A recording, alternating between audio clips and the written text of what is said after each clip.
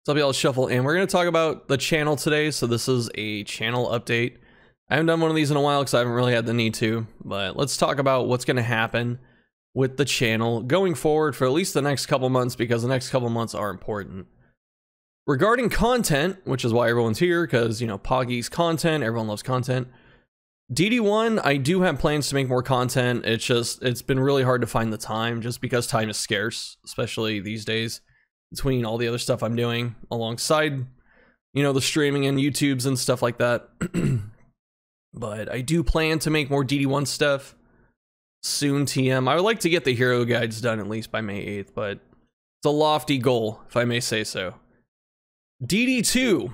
We're going to talk about DD2 more in depth later, but for the next update, the driving update, which they did a stream for today as of the recording of this video, but I will, you know, this video will be like a day or two after that. So go watch the recap video if you haven't on that. But I will probably stream the new update for maybe like a week or two.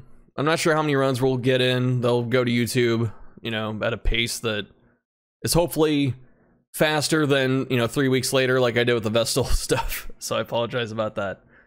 But the the driving update I I'm gonna play it a few times just to see it, and we'll talk about it. I'll make a video with my thoughts on it after I played it a bunch or something like that. I didn't really I didn't test this one too much. I did test it, but I didn't test it a lot. So I you know I'm not as experienced with it as I was the other ones, but I still gave feedback and stuff like that. So I did my best on that.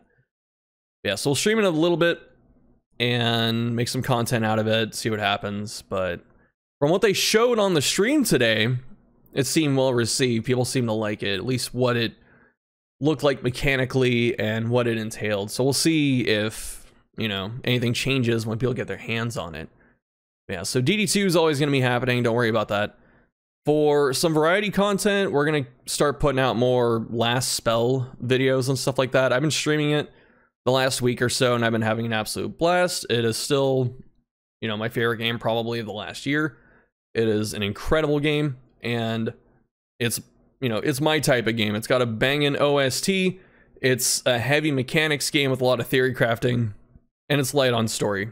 That that's like everything that I want. It's got a lot of replayability, so that's why I've been loving it. And the streams have been doing pretty good considering it's not Darkest Dungeon, So any stream where I don't lose massive amounts of followers for not playing Darkest Dungeon is a good day. So we're gonna be playing more The Last Spell. Also, I was in Ishtar's Discord, and they're the developer for The Last Spell. And someone was asking about game guides. They're like, there's I don't I can't find any. There's none out there, you know, or the ones that are there are outdated. And it was just, you know, a big like spotlight on that moment. It's saying, this is the lane, go take that, you know. Go go make the content, which I've been trying to do. It's just again time and I the video I was working on for the last spell, I just wasn't happy with it after about three days, so I just I threw it away. I you know couple couple reshoots, all the editing, all the the talking, all the footage I got, I was just like, this this isn't working, and I just tossed it. So we're trying something different with that one. I'm still working on it. I'll try and have it done by the weekend. We'll see. And then um the other big variety content thing is Octopath, which it's a JRPG. I know it's not everyone's favorite, but I really like that game, and I like the the studio that makes the Octopath series and Triangle Strategy. I really love that game too. So I I want to play more Octopath. That's gonna be just kind of the chill game right now for me.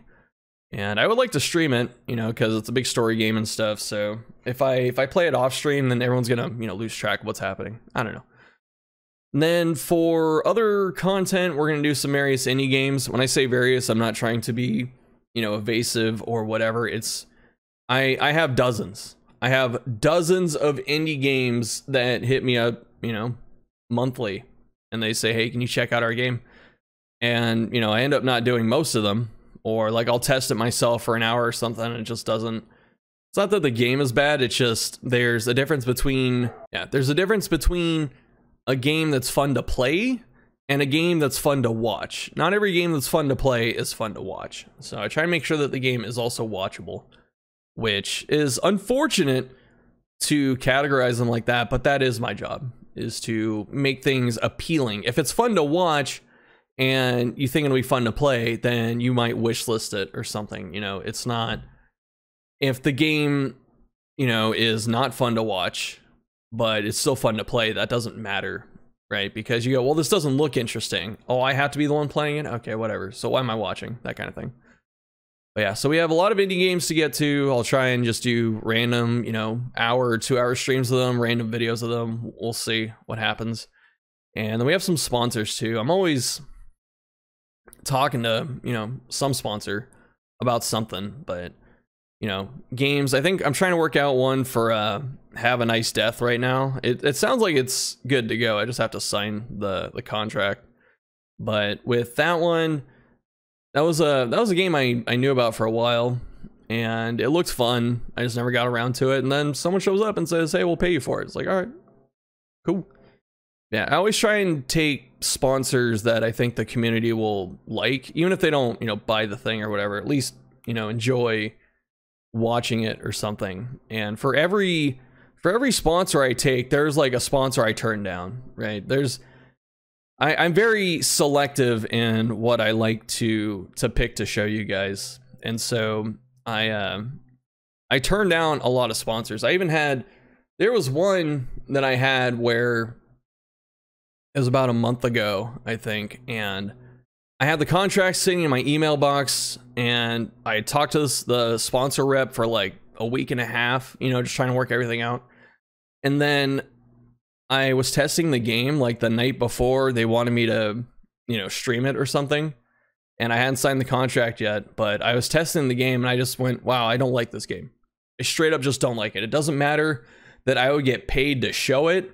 It's not that the game itself was bad. It's just, it's something I didn't like and I didn't want to show something that I wouldn't enjoy. And so I just said no, you know, at the last minute. And then I always talk about Raid Shadow Legends and turning down thousands of dollars. So maybe if they put on another zero to that paycheck, maybe we'll do that one, but they're not. So, but yeah, the sponsors. There's I got I got one or two coming, so we'll see what happens there. The the time between now and May 8th. So May 8th is the Darkest Dungeon 2 launch. So it leaves early access, goes into 1.0. All of the the big content changes like Acts 4 and 5, the last character, the mini bosses and whatever other updates they want to do are coming then. Which means that the driving update and the pets are the last one we're seeing for the next seven weeks. And that honestly terrifies me. It's not for the game. I think the game's going to do just fine. What terrifies me is the workload. So, as you all, or as most of you know, I do volunteer test the game. There's no stipulation. They don't say, hey, you have to go out and say nice things about it. They don't do any of that. They just say, play the game. When, you know, we'll have something for you to look at. Take a look at it. Tell us what you think. And that's it. It's as far as the relationship goes.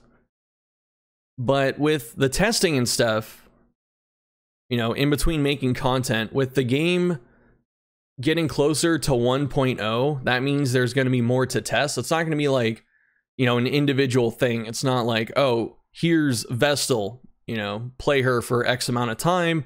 Let us know what you think. Oh, here's, you know, the Shroud. Go through the Shroud a few times. What do you think of the Shroud? Like that's that's how the process was in the past. And it's still gonna be the same process, but now it's gonna be, hey, here's Act 4. What do you think of Act 4? Here's Act 5. What do you think Act 5? Play the new character. What do you think of the new character? We're gonna do this change, this change, this change.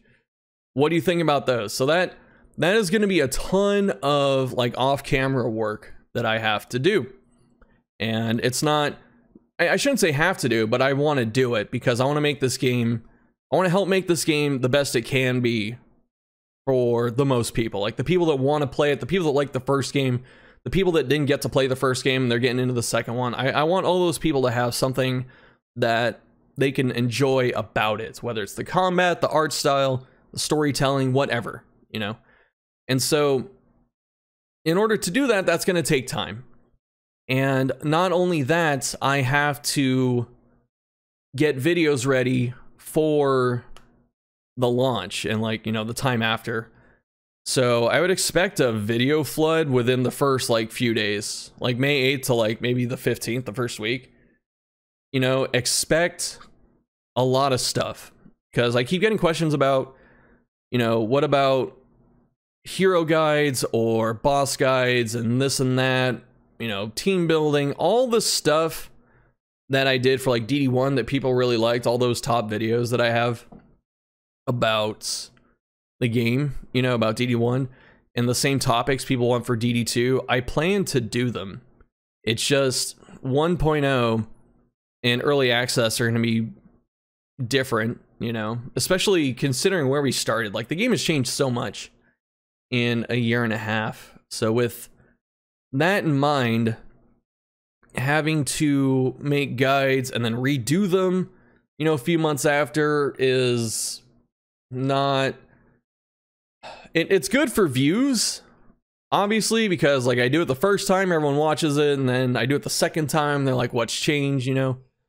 But it's still a lot of work and i have a lot of other stuff i could be doing that's also valuable. So i decided a while back that i'm just going to wait till 1.0 so 1.0 is when you're going to get all the hero guides all the team building guides all the boss guides all the region guides the tier lists all that normie stuff. I shouldn't even say normie, but all that that stuff that people like to watch. Not that the other stuff isn't doing well, but all the all the stuff that, you know, got my channel going in the past is when or is what we're going to do at 1.0. So that means between testing and making videos, getting ready for this, I will probably I will most assuredly just kind of be gone from the the internet for a while. I'll still I'll still put out like YouTube videos and stuff of the occasional whatever and I might stream once or twice a week, we'll see, but for the most part I will be pretty scarce. So it will be I would assume maybe like 2 or 3 weeks in between so, you know, May 8th go back May 7th and like 1 or 2 weeks into April uh, is probably when I'll just, you know, take the time.